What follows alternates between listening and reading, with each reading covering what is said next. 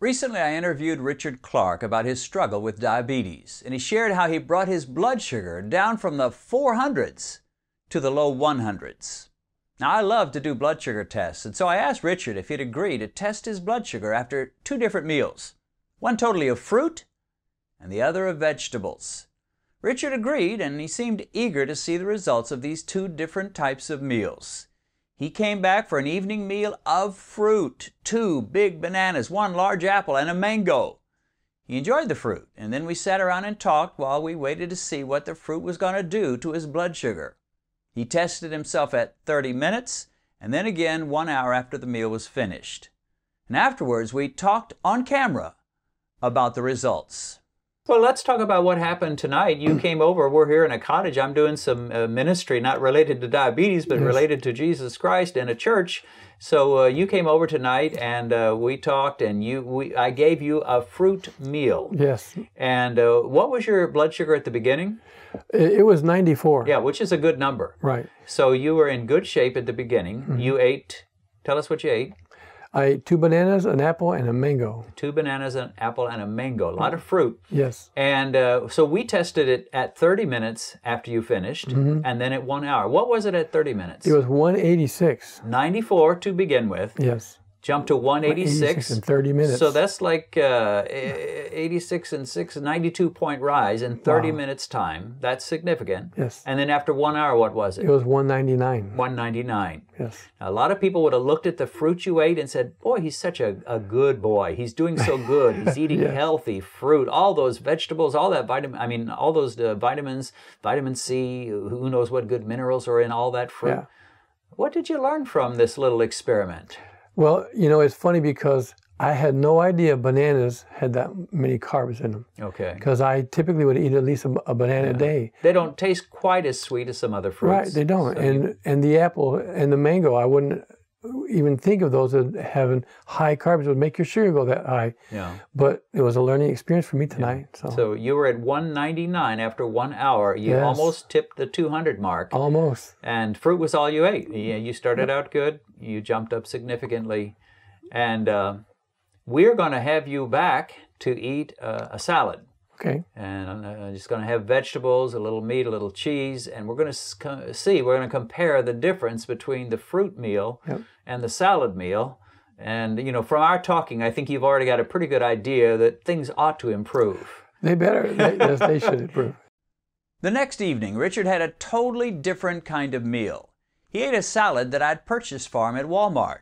But to beef it up a little bit, I had him cut up about half a green pepper and mix it in with the salad. Then he tested himself at the one hour mark just to see how the salad with ranch dressing had affected his blood sugar. This time the results were a whole lot better. Whereas with the fruit, his blood sugar had peaked at 199, one hour after eating the salad, his blood sugar had only risen to 116. Afterwards, we talked about the two tests. So, Richard, yesterday when you ate the fruit, mm-hmm. you started at what? 94. 94 and went up to 199. So that's a over a hundred point rise oh with four pieces of fruit. Yeah. Now you had a salad uh, tonight, mm-hmm. a lot of vegetables, no fruit. Uh, did you get did you get full on that salad? I did. Yeah. I, am very comfortable actually. Okay, so so you you were not depriving no. yourself. You're you're not going to go home feeling haggard and starving and, and really deprived. Not at all. Uh, so instead of a hundred plus rise, you had what kind of a rise this time? Okay, we started at 96. Is that correct? Yeah, 96. And then we ended up at, at 116. Yeah. So that's 20 points. 20 points. 20 point rise as opposed to a 100 plus points. And you stayed well in the safe range. In other words, uh, at 116, you're not damaging your body. Right. Nothing bad is going on. You're good. So, what's the moral of the story? What, what do you learn from that? Well, I think the biggest thing that I've learned that, um, you know, some of these stories you hear about fruit and vegetables being good for you, they can be deceiving. Yeah. And the fruits were actually driving my sugar levels higher than I could even imagine. I've never thought of that. I never really checked it after eating fruit. Yeah. because I used to eat a lot of bananas. Uh, I learned a lesson through all this, Yeah. a really good one. Well, they always use fruit and vegetable in the same sentence. Yes. If you want to be healthy, eat your fruits and your vegetables. Yeah. And you know, there's a lot of truth to that. But for the diabetic, it's just not quite as realistic.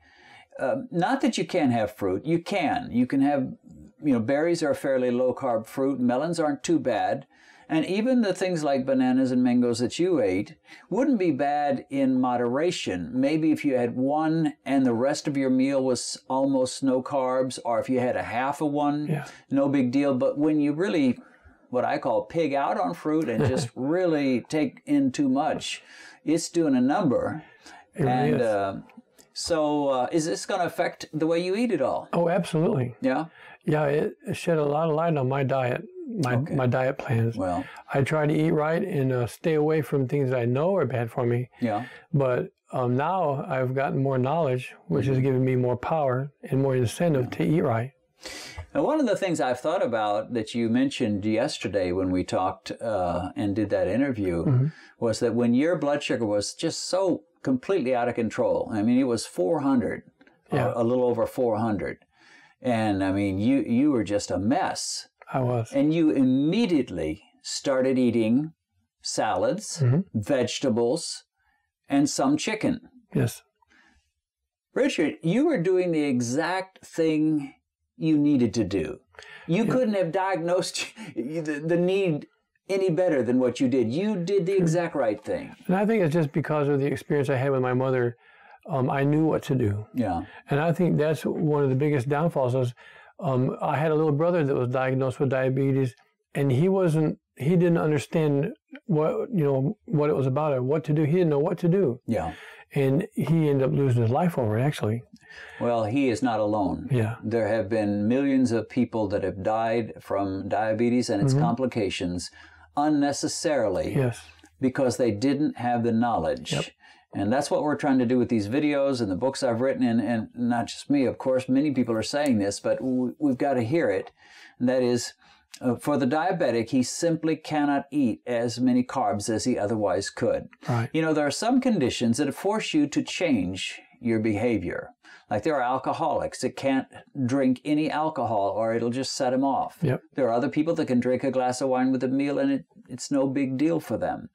But if you're an alcoholic, it is a big deal. And so in your case, and in my case, as diabetic or pre-diabetic, uh, we've got to be careful. Yes, we do. But the knowledge will really help us. I want to thank you, Richard, for being a part of this.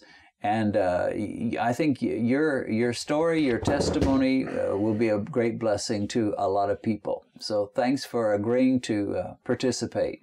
Thanks for having me. I appreciate it. Okay, God bless. This was a simple test, and the outcome was exactly what I expected and what I've seen in my own body over the years.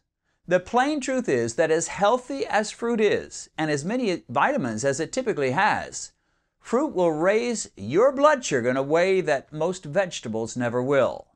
So the question is this if one meal raises your blood sugar to 200, and the other meal your blood sugar never even gets up to 120, which type of meal might be better to focus on for diabetics and pre-diabetics? In Richard's case, with fruits versus vegetables, it was 116 versus 199. 116 or 199. Now, you may say, yeah, but I'm not about to eat four pieces of fruit at one meal. No, probably not. But in many meals, you may be ingesting all kinds of other sources of carbs, like potatoes, bread, rice, pasta, and so forth. And by adding fruit into the mix, you're bumping up your carbs and your blood sugar levels even more. Now, the goal is not to say, I'm never going to eat fruit again. Nothing wrong with a little fruit. But we need to see that fruit can be a fairly significant factor in runaway blood sugar. When you look at a cake, or pie, or bread, or pasta, or mashed potatoes, you ought to be saying to yourself, too much of this can really raise my blood sugar. And when you look at fruit, you ought to be saying the exact same thing. I hope that video was helpful and inspirational to you. Remember, if you're changing from a high carb to a low carb diet and you're on medication for diabetes or on insulin, your dosage will probably need to be changed. In nearly all cases, you'll need to reduce your medication or your insulin.